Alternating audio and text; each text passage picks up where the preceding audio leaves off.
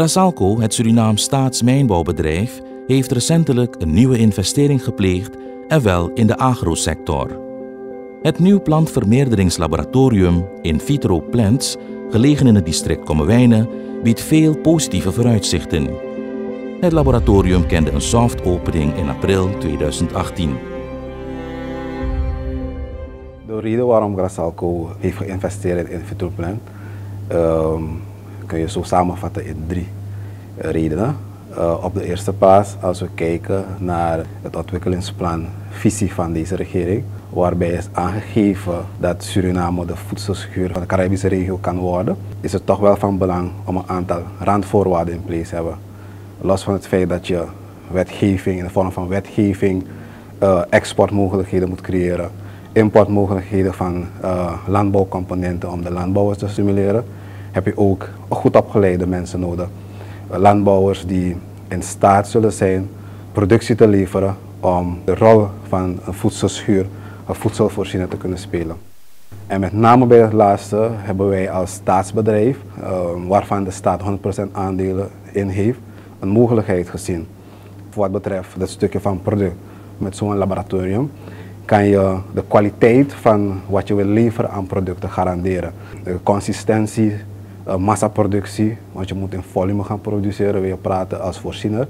Kwaliteit, zoals ik eerder aanhaalde. Met zo'n lab kan je dat min of meer monitoren. Dat is een van de voornaamste leden waarom Grasalco voor die investering heeft uh, gekozen.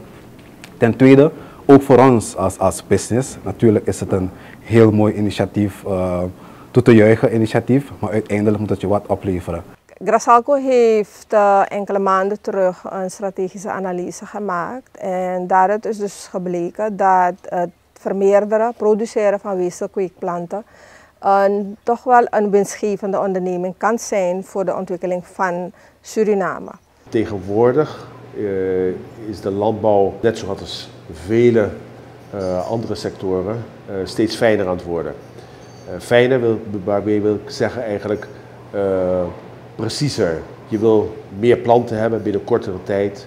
En de planten moeten ook schoner zijn. schoner wil ik zeggen, vrij van ziektes, etc. Dat hele laboratorium is onderverdeeld in een aantal hoofdstukken, om het zo te zeggen.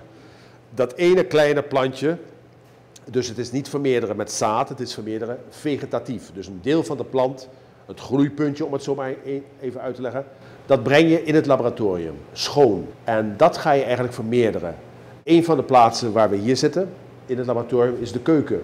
We maken de voeding voor de plant klaar. Steriel en dat gaat minuscuul, het gaat met grammen, milligrammen, milliliters. Dat doen we hier in de mediakeuken. Dat is één onderdeel. Het andere onderdeel is waar de plantjes versneden gaan worden. Dus in hele kleine stukjes worden ze opgedeeld en worden ze op de voedingsbodem geplaatst. En dan krijg je een ander deel van het proces. Dat potje, dat glazen potje waarin het geplaatst wordt, dat gaat in een groeicel, om het zo maar te zeggen. Een growing room, een kweekcel. En daar staat het een bepaalde periode om groter te worden, te groeien, de wortels te krijgen. En dan gaan we het nog een keertje snijden. Dat gaat zo continu door. Tot op een gegeven moment het plantje groot genoeg is. En we hebben er voldoende van. Dan gaat hij weer naar buiten. En dan wordt het afgehard, moet zo zeggen. En dan gaat het naar de klant. We zeggen het gaat direct naar het veld of het wordt geëxporteerd, et cetera. In de beginfase zal In Vitro Plant zich focussen op een aantal specifieke gewassen voor de lokale en internationale markt. Je hebt de markt voor voedselgewassen. Dat heb je het over, uh, voor ons interessant, banaan, pommes gember. In het Caribisch gebied en Latijns-Amerika, dat zijn interessante markten voor ons. Als je kijkt naar de landen Dominica, Dominicaanse Republiek, Belize, Colombia. Uh, het zijn landen die uh, grote hoeveelheden bananenplantjes nodig hebben. Verder voor Suriname is het interessant om te kijken naar gember en pomesitair. Dat, is ook, dat zijn ook de twee gewassen waarmee we van start gaan. Het tweede marktsegment is de markt voor sierplanten. Sierplanten, voornamelijk potplanten.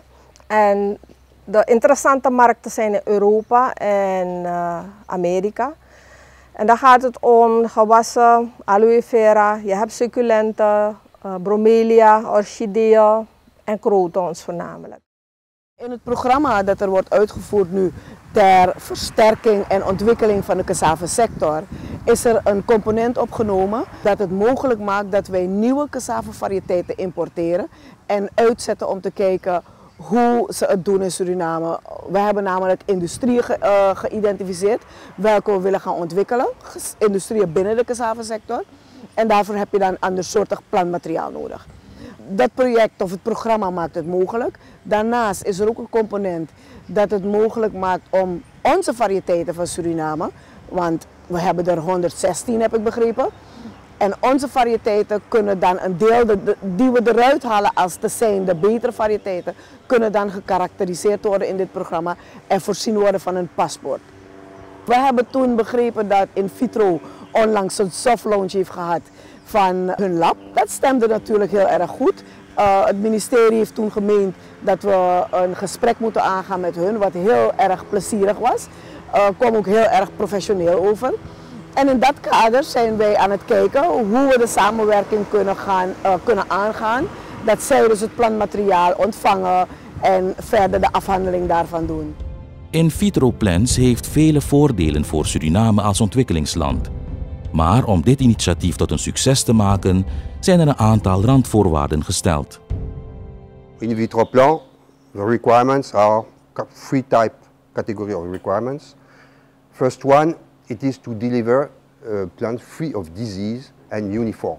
Because it is the interest of in vitro plant production, it is mass production in a short period of time, but uniform plant with a multiplication of clone. So you have to meet this requirement, free of disease and uniform plants. The second important requirement, it is the volume and the schedule. Usually clients are ordering 1 million plant, 1.5 million plant. It's a big volume in a period of time. So you have to comply. Er zal ook nauw samengewerkt worden met buitenlandse partners voor technische steun en de nodige deskundigheid om een hoge kwaliteit aan planten en plantmateriaal te garanderen. So we start to have a partnership, for example, with a representative in Holland to uh, introduce Grasalco uh, and to have growers, pot plant growers interested to have outsourced their production in Suriname. Uh, it is one uh, action here. Vitropic also will have commercial partnership because Vitropic has also client in CARIFORUM countries, in Dominican Republic for, for example. So we will use the platform of production in Suriname to supply plants to this client of Vitropic in this area. We hebben de deskundigheid niet in huis, maar dat neemt niet weg dat we het gaan kopen. Uh, we gaan gericht uh, investeren. We hebben nu al uh, vergaande, vergevorderde gesprekken gevoerd met het Franse bedrijf Vitropic, die bereid is hun technisch kader beschikbaar te stellen, maar ook zelf ook om een joint venture aan te gaan, zodat we daadwerkelijk de kwaliteit kunnen halen welke vereist is om daar uitvoervloeiende te verdienen.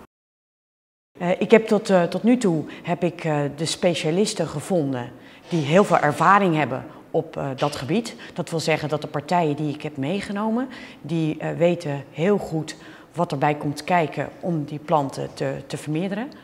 die, die vermeerdering is noodzakelijk om de juiste planten te krijgen die de Europese markt vraagt. Want dat is uit, uit, uiteindelijk het doel natuurlijk van Grasalco. Dat is uh, producten verkopen die geschikt zijn om op de Europese markt uh, af te zetten. In plaats van alleen maar voor de lokale productie te zorgen. We importeren tropische planten, stekken, zaden, van kleine stekjes tot grote bomen. Dat importeren we, dat halen we naar Nederland toe en dat wordt dan verkocht ook weer in diverse landen van de wereld. We zijn nu aan het kijken wat de mogelijkheden zijn hier in Suriname om iets op te starten. De, de mogelijkheden zijn goed, het klimaat is goed. Uh, dus ik denk dat dat uh, afhankelijk van de hoeveelheid energie die er hier ingestoken wordt, dat dat, ik, ik, ik heb daar een goed, heel goed gevoel over, dat dat op vrij snelle termijn uh, tot een samenwerking kan komen. Het lab wat hier staat, wat we bezocht hebben, dat, dat ziet er mooi uit, staat er mooi bij. Er is nog, nog geen productie. er is een klein beetje productie opgestart.